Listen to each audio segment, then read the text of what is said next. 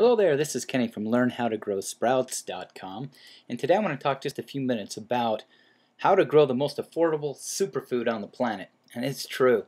It uh, there's there's not a, an easier way to get the supplements that you need in the way of live food into your body than growing your own sprouts.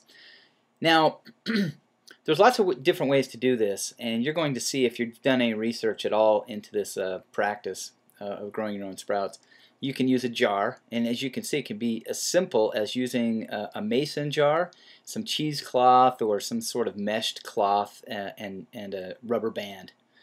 And you just set these in a um, you can set them uh, so that they're at an angle because you do want to have any moisture or water that's up inside be able to drain out okay? There's the tray and I used the tray. I, I actually used the tray the jar and and the bag but I'm gonna and on my website at learnhowtogrowsprouts.com um, you can learn more about this and I, I talk about each one and the pros and the cons. But it might be easiest for you to just start using um, a simple uh, mason jar with some cheesecloth or a nylon. Or you can invest in a tray. Uh, and the one thing I do like about the tray is that you can, uh, it doesn't take up as much um, space. You can stack these on top of each other and you can uh, grow several different varieties.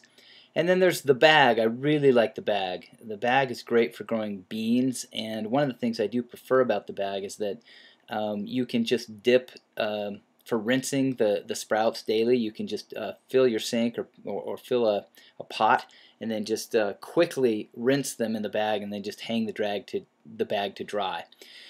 Now, there's also this idea of a sprout garden, and it's like a tray, uh, and it really pumps out the sprouts. Um, these sit and they stack on each other, and you can grow an enormous volume of sprouts.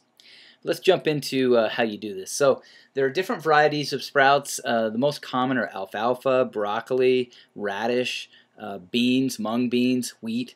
And uh, again, I've got a full list of all the different types um, of sprouts that you might consider growing at learnhowtogrowsprouts.com. Uh, but the first thing you want to do is soak your sprouts. So here we are. Um, you just want to put the sprouts in the bottom and fill the, the, the jar with water and just allow that to sit uh, for 24 hours.